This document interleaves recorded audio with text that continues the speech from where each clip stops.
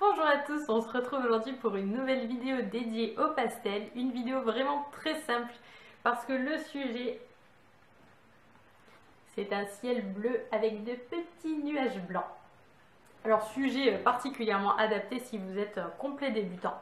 Et même si vous n'êtes pas débutant mais que vous n'avez jamais fait de paysage, eh bien vous ne vous êtes jamais demandé comment faire des nuages. Donc c'est l'occasion, vous allez apprendre quelque chose et euh, rassurez-vous, c'est d'une facilité euh, vraiment enfantine. Pour ce tableau, nous allons utiliser les bâtonnets de chez Sennelier. Alors je vais vous montrer à quoi ils ressemblent. Alors je vous rassure, vous n'avez pas besoin d'avoir tout le coffret, on va en utiliser juste quelques-uns. Et ça va vous permettre de voir à quel point ces bâtonnets sont de bonne qualité. Et aussi leur particularité puisque euh, contrairement aux autres euh, pastels, ils sont vraiment très très concentrés en pigments. Donc ils ont des couleurs vraiment éclatantes, mais aussi euh, ils ont très peu de tenue en fait. Ils sont vraiment, comment vous dire ça, ils sont très friables, voire très poussiéreux. Ce qui fait que, par exemple, on ne, on ne pourra pas ou très difficilement les tailler de façon à avoir une arête très pointue pour faire de petits détails. Ça, c'est difficile avec les senneliers. En revanche, ils font des fondus absolument somptueux comme euh, vous allez le voir. Alors, en général, moi, quand je mélange les marques de pastel, j'utilise les senneliers en dernier. Je vais les utiliser pour faire des, des réaux lumineux vraiment pour faire éclater les couleurs euh, aux endroits stratégiques du tableau. Mais pour ce tableau-là, on va les utiliser de A à Z, donc euh, pour faire le ciel, pour faire les nuages, pour faire les ombres. Et puis on va aussi utiliser euh, un tout petit peu un crayon blanc et un crayon gris, tout simplement pour vous montrer ce qu'il est possible de faire en mélangeant les marques. Maintenant, si vous faites un tableau complet en mélangeant plusieurs marques de pastel, là je vous recommande d'utiliser le sennelier en dernier. Le sennelier est extrêmement couvrant, il est extrêmement épais. En fait, à peine vous frôlez un petit peu la surface du papier que vous avez déjà un trait vraiment opaque de pastel. Ce qui fait que si vous utilisez un autre pastel par-dessus, un pastel euh, plus dur, eh bien euh, il va avoir du mal à accrocher par-dessus, il va avoir du mal à marquer, donc c'est pour ça qu'en général je les réserve pour la fin, pour vraiment faire euh, la petite touche finale. c'est pour ça que d'ailleurs mon coffret n'est pas très très entamé, parce que du coup finalement j'utilise assez peu de couleurs. Mais j'aime beaucoup les utiliser pour les fondus d'arrière-plan parce que encore une fois euh, je trouve ça magique à étaler, c'est vraiment très très beau. Alors c'est vrai que le fait d'estomper lui fait perdre un petit peu de son éclat, mais euh, ils sont de tellement bonne qualité que de toute façon ça reste, euh, je trouve que ça reste magnifique. Mais je vous laisse en juger, c'est parti pour le tutoriel. Alors les ciels ont rarement un bleu uniforme quel que soit l'endroit où l'on regarde. Donc en fait ce que je vais faire c'est que je vais commencer par faire un beau dégradé de bleu en mettant un bleu un petit peu plus foncé sur la partie supérieure de la feuille et plus on va aller vers le bas, plus ce sera clair. Alors d'habitude, quand je travaille sur pastel mat, je mets toujours une sous-couche uniforme de blanc. Mais il faut que je précise que d'habitude, je travaille surtout avec des bâtonnets Rembrandt qui sont un petit peu plus durs, même beaucoup plus durs que les senneliers que j'utilise pour ce tutoriel. Le sennelier, comme je vous l'ai dit en introduction, il est quand même très épais. Donc euh, on n'a pas besoin d'une sous-couche supplémentaire. En fait, le, pastel se suffit à lui-même. Donc ce que je fais, c'est qu'une fois que j'ai disposé mes différentes couleurs, je viens les estomper avec mon doigt. Si jamais vous travaillez sur un papier comme le papier pastel card de Sennelier. Ne faites surtout pas ça parce que vous allez vous faire très mal aux doigts. Le Sennelier, c'est un papier qui est abrasif. Donc si vous frottez votre main dessus, euh, ça va vous râper la peau. Donc je vous recommande de le faire avec une estompe. Et là, vous n'aurez pas de problème. Donc en fait, si vous avez bien regardé, j'ai utilisé trois bâtonnets. On a un bleu outremer clair qui est la teinte principale que l'on voit au centre en ce moment un bleu qui est plus flashy. Je sais pas comment il s'appelle par contre parce que mon coffret n'a pas les noms des couleurs. Mais bon voilà, c'est un bleu un petit peu plus flashy, on va l'appeler comme ça. Et un blanc donc que je n'ai utilisé que sur la partie inférieure du tableau. Donc en fait là l'objectif c'est que on ait vraiment l'impression que le bleu devient de plus en plus clair au fur et à mesure que l'on s'approche du bas de la feuille.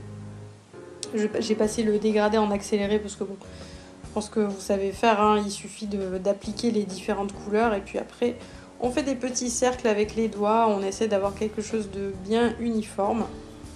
sans pour autant perdre bien sûr le dégradé. Hein. On veut que notre dégradé en fait ait un aspect lisse. On ne veut pas voir le papier au travers parce que les traces blanches du papier ne sont pas forcément très esthétiques. Donc euh, je mets des couches de pastel jusqu'à ce qu'on ne le voit plus du tout.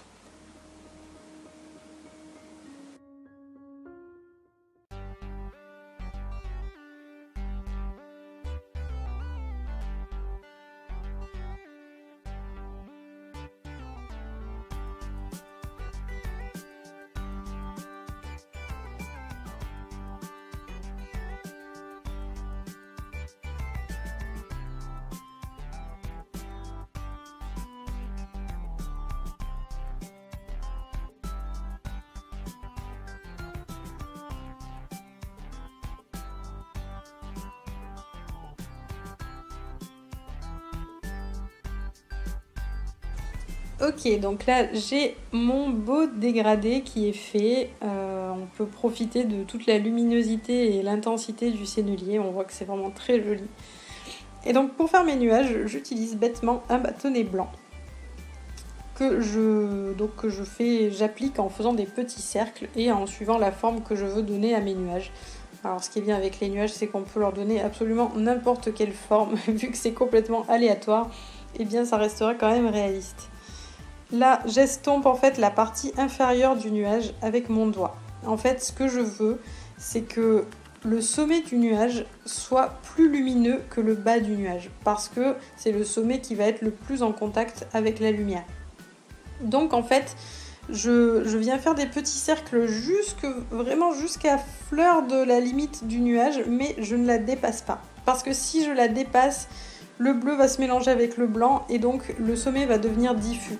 Or, je veux qu'il garde quand même une certaine netteté, du moins qu'il soit plus net que la base. Donc c'est extrêmement simple. Ensuite, si je veux faire passer un deuxième nuage devant le premier, eh bien je vais recommencer exactement la même opération. Comme la base du premier est déjà estompée et mélangée avec le bleu, eh bien on va avoir l'impression que celui que je suis en train de faire vient passer par-dessus je fais exactement la même chose. Il y a plein de façons de dessiner les nuages. J'aurais pu aussi euh, faire mon dégradé de bleu mais euh, tracer auparavant les contours de mes nuages et les laisser en blanc si je voulais qu'ils soient vraiment très très lumineux, très très blancs. Mais là en l'occurrence, je fais des nuages qui sont assez transparents. Mais bon, parfois c'est vrai que selon, selon les ciels qu'on veut représenter, on peut aussi avoir des nuages très compacts et vraiment très blancs. Dans ce cas-là, c'est intéressant de laisser l'espace vide. Donc là, je viens rajouter euh, des petits nuages euh, complètement au pif.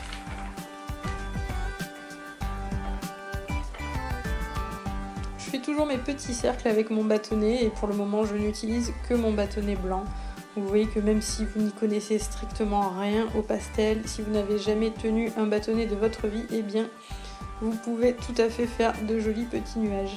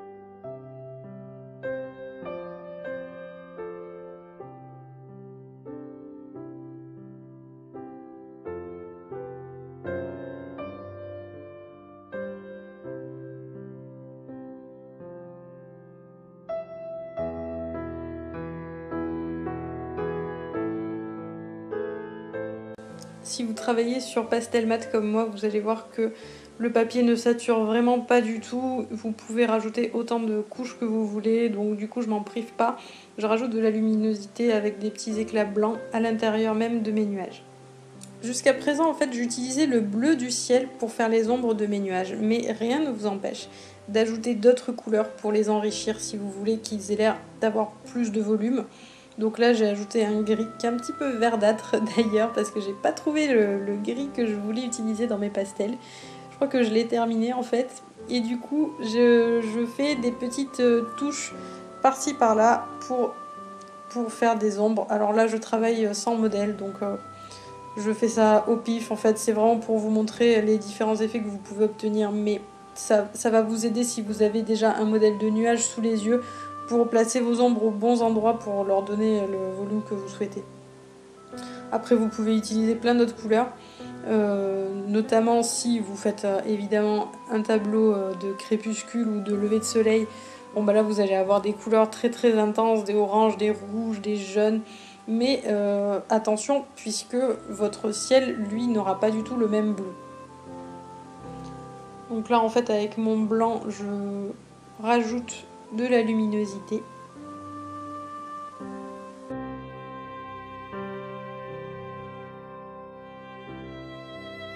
Et je vais apporter une autre couleur. Là, c'est un, une sorte de rose grisâtre. Encore une fois, je ne connais pas son nom. Et pareil, je vais m'en servir pour venir euh, enrichir mes nuages. Pour tous mes nuages, j'ai suivi le même schéma, c'est-à-dire le dessus net et le dessous diffus. Mais si, il y a des fois ça arrive, hein, il y a certains nuages qui sont euh, bien nets de tous les côtés. Donc à ce moment-là, en fait, ce qu'on va faire, c'est qu'on va travailler la base du nuage exactement de la façon dont on a travaillé le dessus du nuage. C'est-à-dire qu'on va lui appliquer une couche de blanc et on va venir l'estomper. Donc là, je vous montre avec celui qui est au-dessus. J'applique une couche de blanc donc à la base et ensuite je vais venir l'estomper sans jamais euh, dépasser la limite entre le nuage et le ciel. Là on voit qu'il y a un pigment bleu qui s'est trouvé là et du coup mon nuage a pris une teinte bleutée. Mais bon c'est pas grave, c'était simplement pour vous montrer que euh, vous pouvez aussi faire en sorte d'avoir un petit nuage avec des contours bien nets.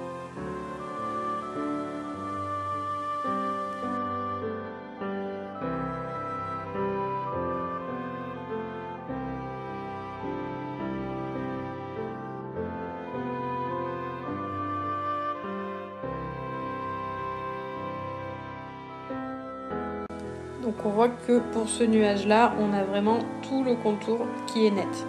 Alors après, si vous regardez de près, on voit le grain du papier au niveau des extrémités, enfin des zones qui n'ont pas été estompées. Donc si jamais ça, ça vous dérange, euh, la, manière dont vous pouvez vous en débarrasser, c'est d'utiliser un crayon pastel. Avec un crayon pastel blanc, vous pouvez repasser sur les limites de vos nuages et de cette façon, vous allez euh, gommer en fait les aspérités du papier. ça euh, c'est la solution que je trouve euh, idéale. En fait le crayon blanc il va pas forcément rajouter du blanc sur le nuage. Parce que le sennelier c'est un bâtonnet qui est tellement épais que les crayons ont, du mal à marquer par-dessus. Mais par contre il va jouer le rôle un petit peu d'une estompe. Mais sans, sans flouter la bordure. Si vous aimez les, crayons pastels, vous pouvez très bien jouer avec euh, dans, vos nuages. Par exemple, je peux prendre un crayon gris et puis décider que ce nuage, en fait, ce sera deux nuages bien distincts. Donc je vais créer une bordure avec mon crayon pastel gris. Je l'estompe un petit peu avec mon doigt et je n'oublie pas de faire dépasser le nuage du premier plan sur le nuage du deuxième plan. Enfin voilà, il y a plein de choses à faire avec les crayons comme avec les bâtonnets, hein, c'est ça qui est sympa aussi.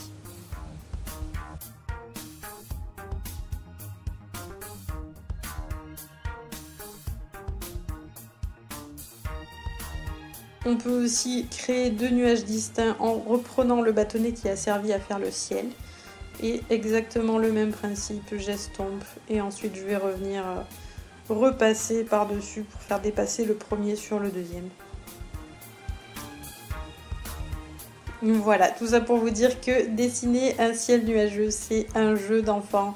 C'est vraiment très sympa en plus, on, s'en met partout sur les doigts. Enfin, c'est rigolo quoi. Si vous débutez, euh, ça peut être un exercice très sympa.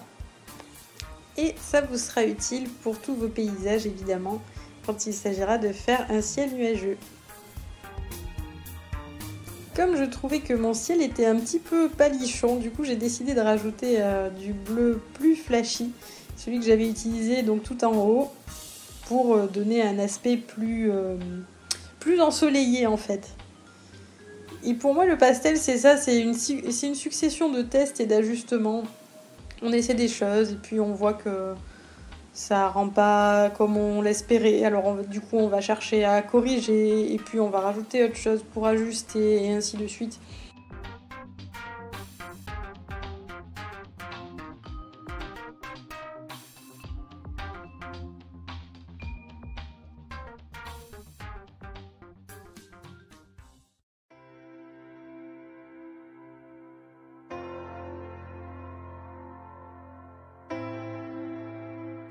Une fois que mon nouveau bleu est bien fondu à l'ancien, eh bien je reprends mon bâtonnet blanc et euh, aux endroits en fait qui ont été estompés, je fais dépasser les nuages sur ce nouveau fond. Pour vraiment bien les intégrer pour pas qu'on voit la séparation en fait.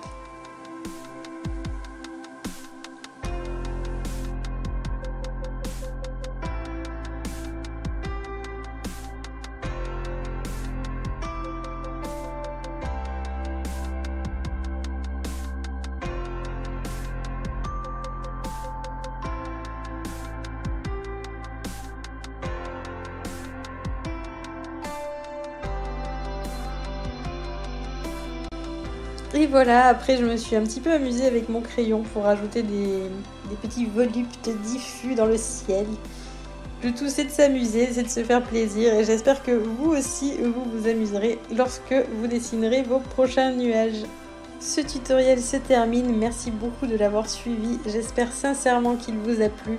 Si c'est le cas, n'hésitez pas à liker, que ce soit sur Facebook ou sur YouTube. Si vous aussi vous avez des astuces pour dessiner de beaux nuages au pastel, s'il vous plaît, partagez-les dans les commentaires. Et si vous êtes débutant, vous pouvez aussi télécharger mon guide du matériel pour débuter le pastel sec dont je vous mets le lien dans la description de la vidéo.